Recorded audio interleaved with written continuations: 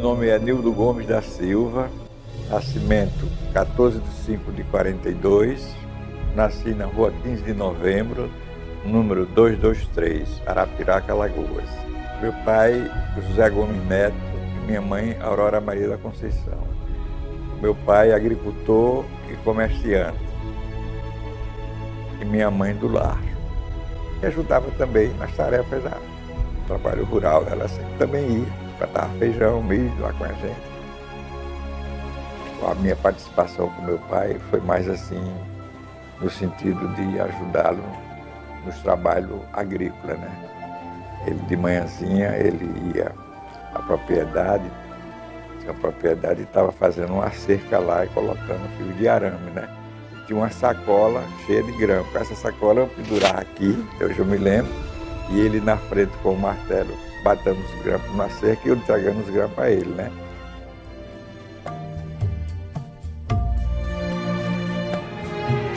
O meu pai, ele tinha o comércio de estivas e cereais. Tinha um mercado, uma mercearia e tinha esse armazém também na Rua 15. O armazém, ele comprava mamona, goma, comprava feijão, arroz e fazia as vendas para Penedo, uma empresa de Dalmo Peixoto. E a mercearia ele vendia buba, café, charque, bacalhau. Com meu pai a convivência foi pouco, porque ele morreu novo.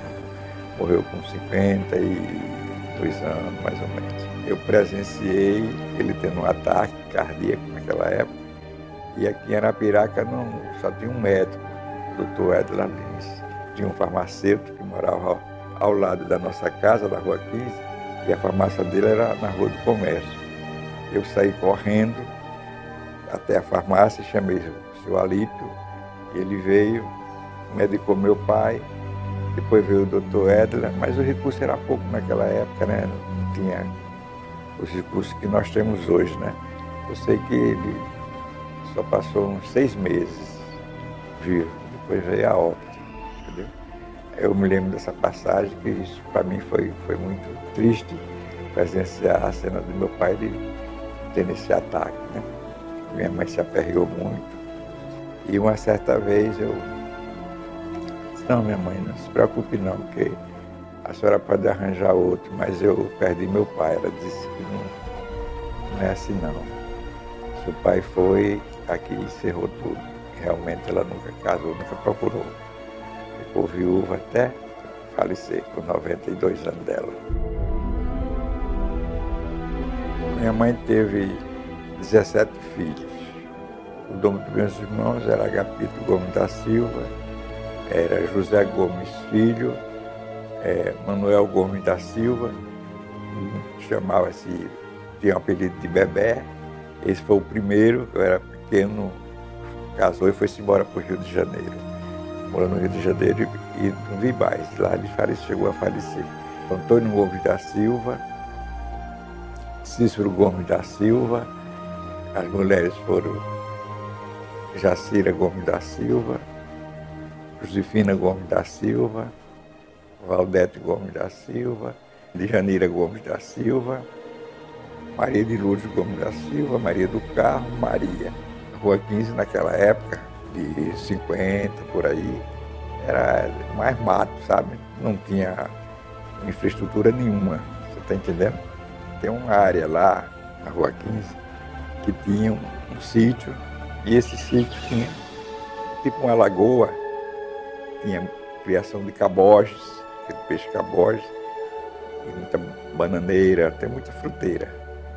E a turma gostava de tomar banho e pescar Caboja. A gente continuou com essa propriedade na Xanitoco, chamou Alto dos Gomes, e então eu ia com a minha mãe e botava os dois caçoal no jumento, burrinho, para trazer feijão, milho, entendeu? macaxeira de lá do, do terreno, né? E uma certa vez, quando a gente veio, aí eu vinha na frente, quando chegou ali na rua da Quitanda, que hoje ali é o parque, né? Cunha, Aquilo ali tinha delegacia e tinha um terreno onde botava animais, né?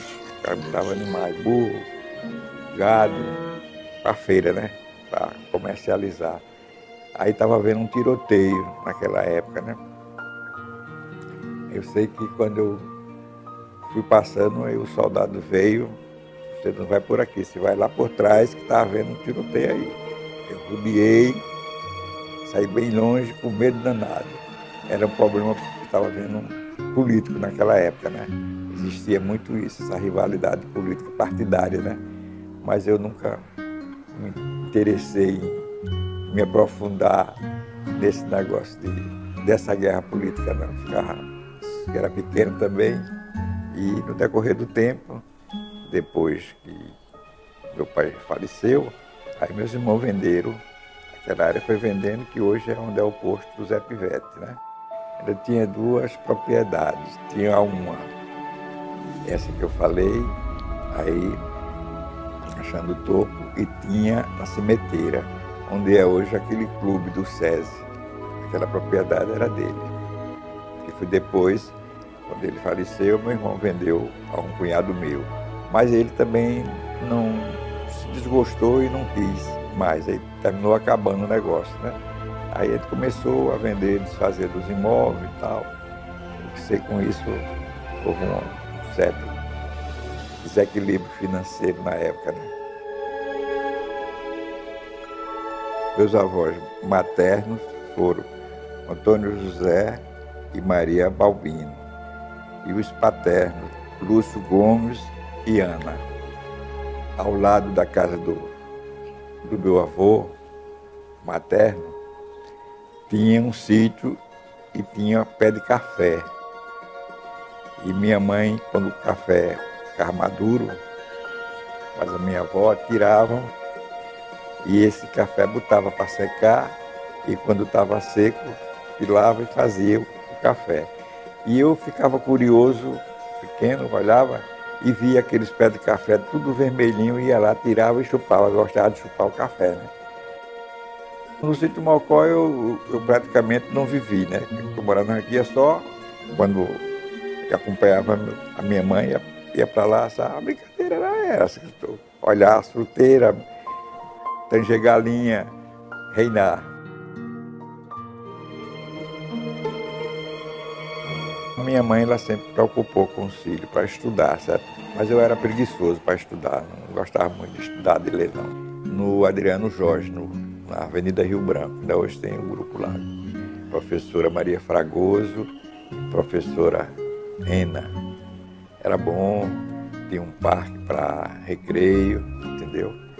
E o relacionamento com os colegas era bom, né? Era tão bom que eu brincava mais do que estudava. De lá eu saí para estudar no Instituto São Luís, né? Lá no Instituto São Luís foi onde eu consegui terminar o, o primário, né?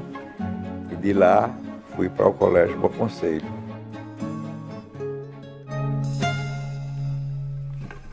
Paquerar, né? O jovem fica naquela de paquera, né? Bater uma bolinha para distrair, nos assustar das festas, né? Eu gostava de dançar, era solteiro e procurar me divertir, né? Eu gostava de tomar uma cervejinha, juntar dois, três amigos.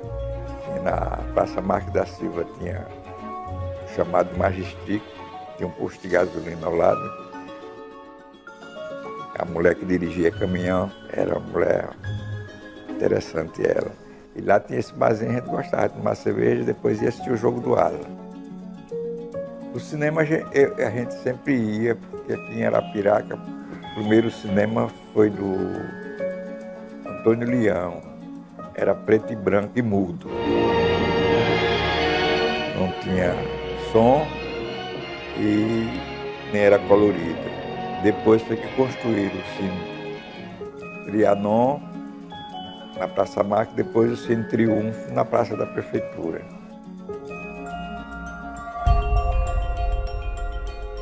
Foi numa casa comercial de um cunhado meu. Ele tinha uma loja de ferragem na Rua do Comércio. Aí ele me chamou, eu fui trabalhar com ele lá. Aí depois desse período surgiu uma oportunidade de eu fazer um teste no Banco do Brasil, através do irmão meu que trabalhava lá. E eu fiz um teste E passei uns meses estagiando e depois fiz a, as provas naquela época, fui nomeado, né? Passei a ficar afetivo, né? Trabalhei 32 anos no Banco do Brasil. No Banco do Brasil eu trabalhava no setor, trabalhei na carteira agrícola, trabalhei é, na parte de, de, compensação de cheques, fazia várias, vários trabalhos que naquela época tinha que fazer tudo, né? Tanto assim que naquela época a gente até eu fui, fiz várias viagens remunerárias para levar dinheiro daqui para Santana de Ipanema, daqui para Penedo, e a gente ia num carro, de, de num táxi, naquele, naquela sacola, e, e, pessoas que nunca tinham pego uma arma como eu mesmo, pegavam um revólver com cinco balas, e a bala não prestava mais, nem chega, estava enferrujado. E o camarada aí, graças a Deus, nunca aconteceu nada. Hoje em dia tem os carros fortes e são assaltados direto, né? Bombardeio. Mas naquela época era bom demais. E a estrada era de barro. Não tinha a gente passava as quatro horas para chegar em Penedo. Tinha um cliente nosso lá, e quando ele vendia os fumos, ele na caminhonete, chegava na porta do banco, dois, três sacos de dinheiro. Tirava, levava lá para a tesouraria. Nunca houve nenhum assalto. O banco sempre funcionou ali na, na Fernandes Lima, né? Depois foi construiu aquele prédio onde é hoje, né? Mas sempre ele sempre funcionou na rua Fernandes Lima. Começou um negocinho pequenininho, depois foi crescendo. Quando eu, eu trabalhei lá na agência, nesse prédio antigo, nós éramos 102 funcionários e não existia não era informatizado nada, era tudo naquela máquina grande da fria, não tinha, era tudo manual praticamente o trabalho, né? E o meu sonho era esse que Deus me deu e eu consegui realizar, trabalhar no ponto de me casar. Quando eu era jovem, eu gostava realmente de tomar uma cervejinha e chegava em casa, quando vinha da, das festas, lá na casa da minha mãe tinha um quadro de Nossa Senhora de Fato. E eu, mesmo cheio de cerveja, me ajoelhava, só ia dormir e depois fazia minhas orações. Nessas orações eu pedi a Nossa Senhora de Fátima que me apresentasse uma mulher para ser minha esposa, uma mulher de vergonha, dizia assim a ela, uma mulher de vergonha que realmente correspondesse. Passado o tempo, eu sempre rezando, rezando, rezando, indo para a igreja, ia para assistir a missa lá na Rua do Comércio, naquela igreja de Nossa Senhora do Bom Conselho. Aí o resultado é que eu conheci essa jovem, Maria José da Silva. Ela entrava na igreja e eu ficava olhando, paquerando, mas não dava bola não. Eu fui seguindo, seguindo, até que consegui. Ela vinha com a mãe dela, a mãe dela até que gostou de mim, mas o pai dela não aceitou não. Foi um negócio sério. Mas eu me peguei com Nossa Senhora e deu tudo certo. Quando eu resolvi, depois de um certo tempo, fui noivar e ele pegou a aliança e jogou fora jogou a aliança fora e disse que não tinha filha para casar com o Piligrino, não. Ela era muito ignorante, sabe? Aí o resultado, eu fui, foi no mês de setembro, ela estudava no Colégio São Francisco, tinha uma passeata, deixei ela ir para passeata. Quando voltou da passeata, à noitinha eu fui lá. Eu tinha um amigo que trabalhava com o tio dele, o tio dele tinha uma farmácia, chamava-se Linduarte e tinha um aeroíris, aqueles carros aeroíris, carro bonito. Aí eu combinei com ele, aí ele foi com o carro, deixou o carro distante, eu fui ver se ela queria, se topava mesmo, se ela queria mesmo. Estava disposta a casar comigo, né? Aí fui lá na casa dela. Tinha um cunhado meu chamado José Marques, e eu fui no carrinho de confeito, comprei umas balinhas, chamei ele, Marquinhos, os confeitinhos, vai lá dentro, diga a sua irmã que eu quero falar com ela. Aí o Marquinhos saiu batendo os pés na bunda, chamou ela, quando ela veio, conversei com ela assim, o pai dela do outro lado, mas ele não viu. Chegava numa cadeira de balanço da calçada, fumando um charuto, se balançando, e eu disse, olha minha filha, você gosta de mim, a solução vai ser agora. Ou você vem comigo agora, senão está tudo encerrado. Você já viu a atitude do seu pai, E eu naquela época não tinha condições, mas Deus dá o frio conforme o cobertor, né? Aí tinha um trocadozinho, aí esse trocadozinho tinha dado uma irmã minha para guardar lá no cofre. Aí eu fui em casa antes de pegar ela, peguei o trocadozinho, botei no bolso e parti para fazer, começar a minha vida, né? Aí ela aceitou. Quando ela aceitou, vi a roupa. Eu digo, a roupa é a do corpo mesmo, vamos embora. Aí pronto. Arrastei ela, botei dentro do carro, chovendo. Chovendo muito. Naquela época as estradas eram tudo do barro. Aí eu não podia ver um carro. Quando vi um carro, o farol de um carro, eu digo, parece que é ele, parece que é ele. Ah, vai, Tony, já tá. Quando foi lá para as tantas, meu filho, o carro atolou. Chovendo muito, o carro atolou. Eu sei que quando a gente veio sair do atoleiro, já era de manhã. Quando eu cheguei em Penedo, era 5 horas da manhã, na beira do rio. Tinha um irmão trabalhava no Banco do Brasil, nessa época, e morava lá. Aí eu fui bater na casa dele. Saí perguntando, encontrei a casa dele, bati na casa dele. O que você está fazendo aqui essa hora? Eu digo, olha aí. Carreguei a Maria. Eu vou vir para aqui para casar. Naquela época, o bispo era Dom Constantino. Aí você não tem condições de casar, porque ela era de menor. Eu digo, ah, reverendo, eu vim para aqui, foi para sair casado. E o senhor vai casar que eu não vou. E o senhor vai consentir que eu fique junto, sem casar? Eu vim para casar. Eu sei que com muita arrumação, depois de uns dias, ele foi e aceitou. Aí a mãe dela foi, a minha irmã foi, fez o casamento. Depois que a gente casou, a gente fomos lá fazer uma visita a ele. Ela se ajoelhou para dar a benção a ele e ele mal respondeu. Ficou meio assim, mas depois ele, o era de destino, ele tinha um terreno do Peleve e criava um gadinho para lá, levou uma pontada do, de uma do, das vacas e ele foi bater, bater lá em casa. Nessa época ele morava na rua 15 eu acolhi ele e tal. Depois ele foi para São Paulo. E sei que quando voltou, voltou nas boas, ainda veio aqui para minha casa, quando construí essa casa. Mas tornou as boas. Acabou a raiva, né? Viu que eu não era o que ele estava pensando, né? Graças a Deus.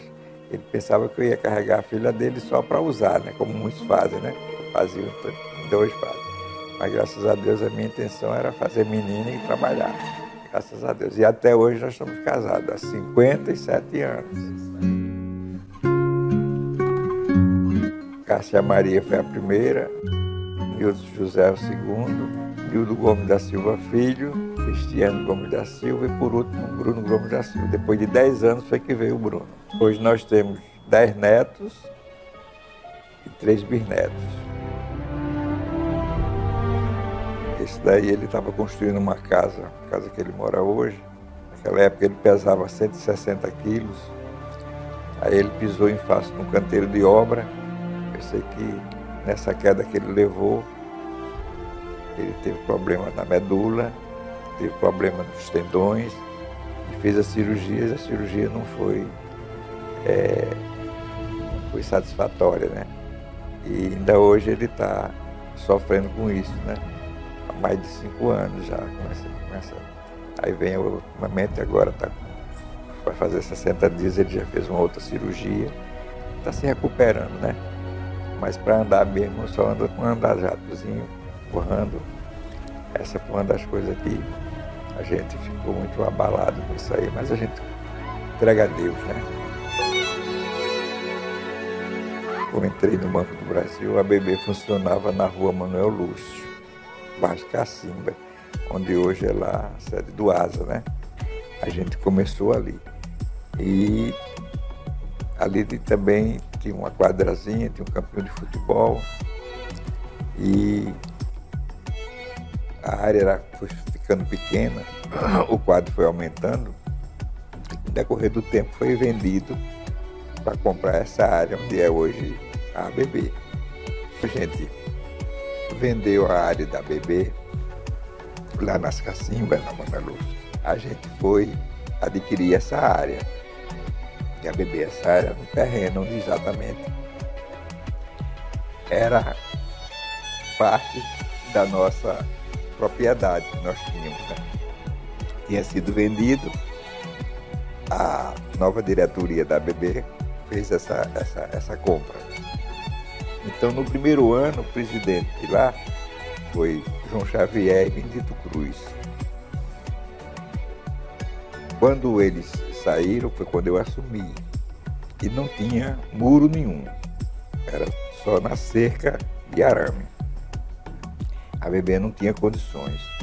Aí quando eu entrei no, com o meu vice-presidente Rangel, a gente conseguiu, combinou com a diretoria, conseguimos uma doações, doações com, com os amigos, sócios, e daí a gente começou a murar. Então a gente fez uma morada de 10 mil metros quadrados, tudo com recurso próprio. E construímos uma caixa d'água e através dessa caixa d'água a gente construiu também, conseguiu fazer um campo gramado. Para todo mundo era impossível, mas para Deus não, nem para mim. A gente conseguiu. E graças a Deus hoje ainda tem esse, esse campo lá. E quando eu saí, entrou o presidente Antônio Matias botou o Nildão. Até hoje tem ele lá, entendeu?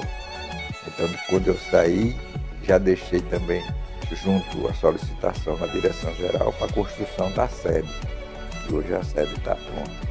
Naquela época só podia participar quem era do banco. Hoje não, hoje, hoje há uma abertura, houve uma alteração nos estatutos e você, qualquer pessoa que você tiver interesse em associar, é só pagar a, a, uma taxa né? e ficar pagando a mensalidade. Com isso, o quadro cresceu muito, né? Quando eu era presidente, o quadro era pouco, tinha poucos funcionários, né? Só podia associar o cunhado ou primo até o terceiro grau. Esse podia ser sócio da BB. Mas se não tivesse nenhum vínculo familiar, não podia ser sócio naquela época. Eu passei na BB dois anos, que era, o mandato era de dois anos. Eu realmente não queria mais do que isso. Para mim foi suficiente. E no decorrer de dois anos a gente fez muita coisa, cansou muito, sabe? E foi muito bom esses dois anos que a gente passou, porque a gente melhorou muito. Nós somos católicos, né? E a gente sempre participou do movimento da igreja. E surgiu um convite de um dos meus amigos para participar da maçonaria naquela época. Né? Eu fiquei analisando direitinho e tal, mas ela só podia entrar se a mulher aceitasse. Né? E ela concordou, ela concordou, ela queria. Aí a gente foi participar da maçonaria. Passamos uns 10 anos bons na maçonaria.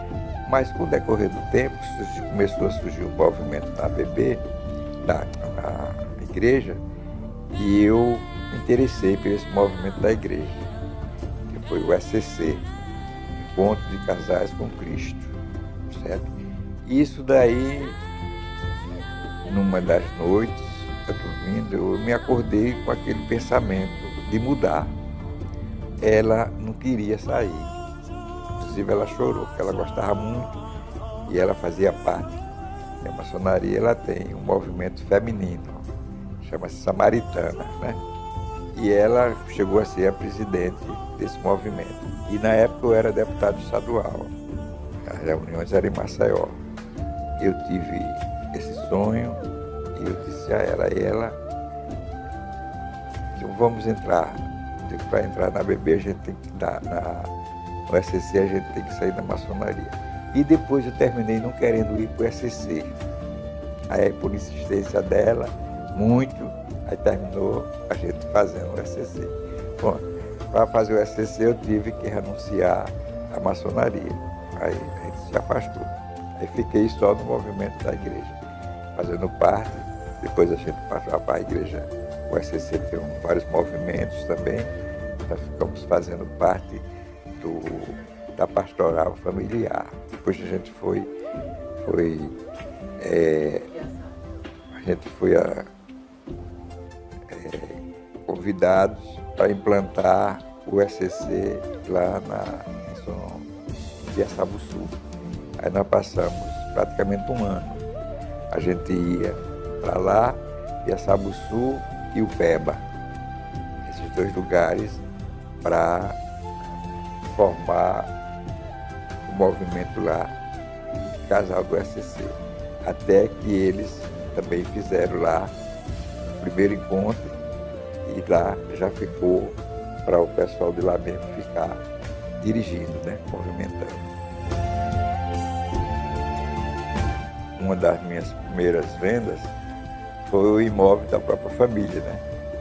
Que foi a casa, uma casa da Rua 15, eu vendi, a própria família, a propriedade que era nossa, eu, eu fiz a venda, depois eu fiz a venda, o proprietário me chamou para fazer o loteamento lá, aí ele fez o loteamento, me entregou as vendas. Então quando a pessoa chegava lá, às vezes oferecia até vantagem, disse, mas é o seguinte, você procura outra pessoa, porque eu não trabalho assim, eu só trabalho com loteamento e você já tem o alvará da prefeitura, liberado com registro em cartório, ou dando entrada já no cartório para fazer o registro, que aí a pessoa com um terreno a prazo Aí de repente chega um que quer comprar à vista, mas quer escriturar imediato. Como é que escritura se não tem registro? Aí essa parte, mas a, a burocracia de fazer o registro sempre foi a mesma. Fazer a planta, né? Dar entrada na prefeitura, solicitar o alvará, depois levar para o cartório para registrar. Eu comecei nos anos de oficializado nos anos 70, né? e até agora eu continuo, mas continuo banho-maria, né? Estou mais com, pegando muita coisa. Primeiro que eu não tenho mais idade para isso. E segundo que, o, que os meus filhos que trabalhavam comigo já estão trabalhando por conta própria, né? Quiseram sequenciar, né?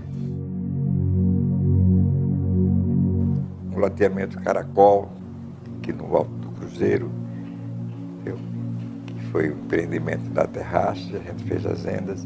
O conjunto do Louro, aqui no Alto do Cruzeiro também, várias casas a gente fez as vendas.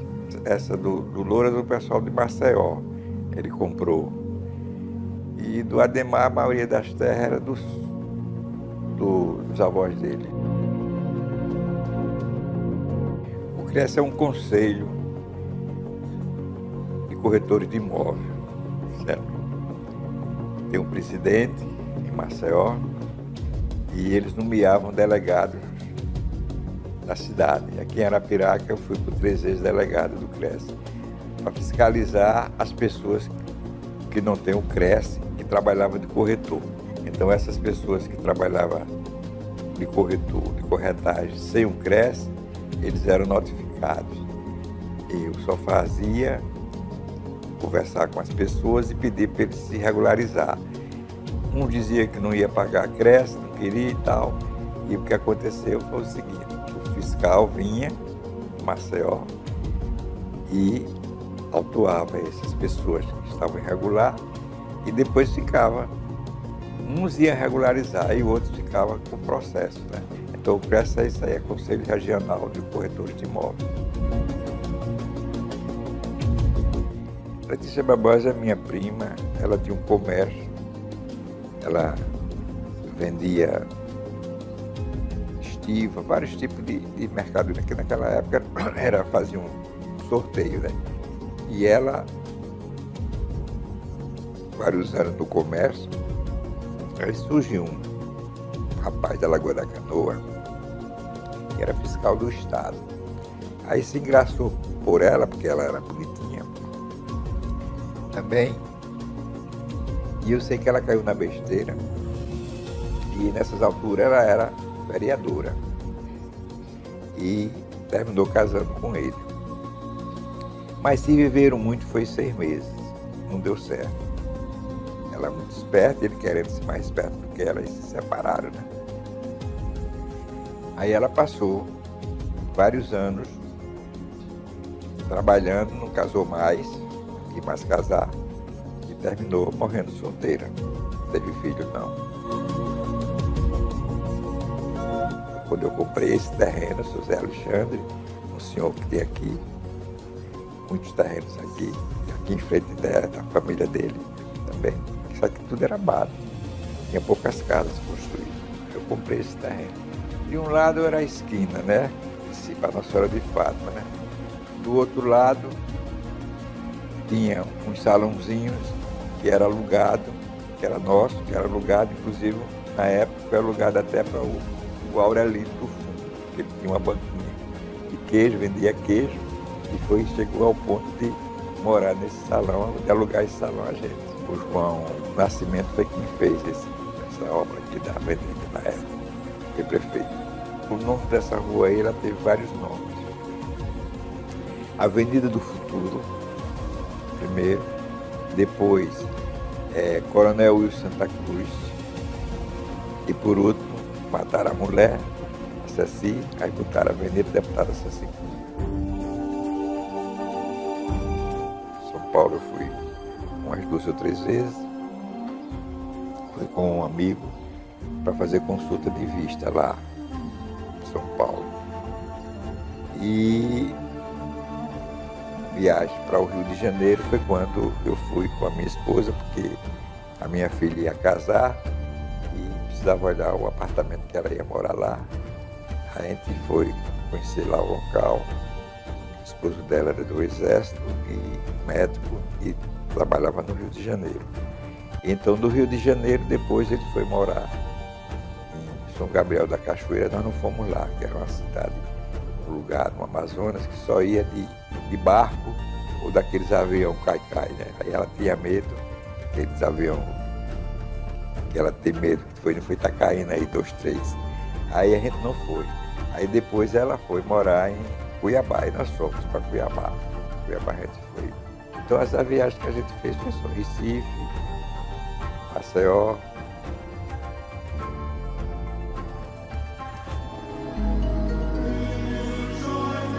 como aposentado, vou ainda para o escritório para bater o ponto, mas não estou fazendo o trabalho que eu fazia, porque não tenho mais necessidade de estar correndo tanto, né?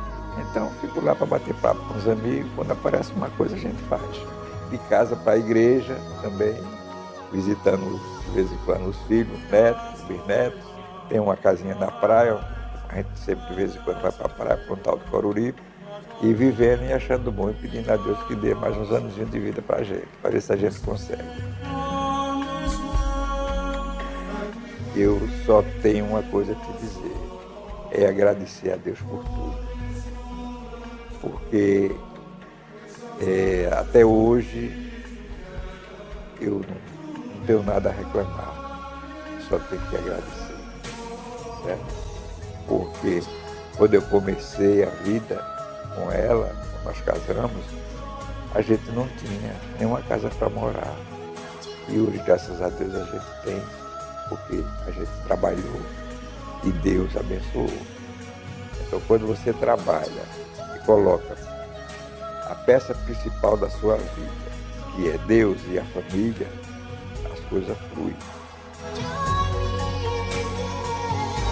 Eu vi essa cidade crescer, né? graças a Deus.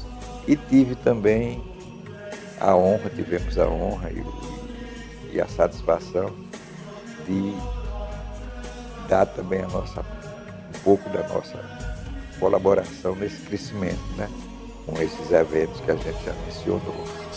Graças a Deus, para mim, Arapiraca é tudo. Poderia hoje a cidade estar melhor se não fosse, felizmente, o sistema político que existe todo o país. E Arapiraca não foi diferente, né? Porque antigamente entrava um prefeito, fazia duas, três coisas, o outro entrava, desmanchava o que ele fez, aí vez de para frente ia para trás. Entendeu? E foi o problema que Arapiraca ela ficou nesse, nesse sistema de, de, de, de crescimento zero. É preciso que entre um prefeito, e procure ver Arapiraca com bons olhos, o próprio governo do Estado também, para procurar ver a possibilidade de trazer indústrias, fábricas, coisas que Arapiraca venha crescer. A família para a gente é uma coisa divina de Deus, né? a gente tem a família como a principal coisa boa da vida, né? É família, é a gente procurar viver realmente em união, né? Que a gente tem procurado fazer na medida do possível, né? Sabe que os dedos das mãos não são iguais, mas infelizmente tem alguns da família, não filhos, né? Discorda de alguma coisa, mas a gente vai colocando na mão de Deus e vai resolvendo. Primeiramente, eu, eu quero agradecer a Deus e a visita aqui de vocês, certo? Já esteve conosco aqui anteriormente, deputado, quando veio nos convidar para fazermos parte dessa entrevista. E dizer para vocês que para os nossos netos, bisnetos, os filhos, quando Deus me chamar, que eles procurem sempre viver contrito com as coisas de Deus, que não se afastem, porque nós não somos nada sem Deus e a gente não deve nunca perder a fé. Às vezes a gente fica assim, com muitas coisas na cabeça, muitos problemas, e às vezes até quer esquecer que Deus existe. Mas o importante que eu deixo para meus netos, para minha família, é que nunca perca a fé. Procure depois ver e rever tudo isso que a gente está falando aqui hoje, está sendo registrado. Procure pôr pelo menos alguma coisa em prática do que o avô, o pai, o bisavô fez.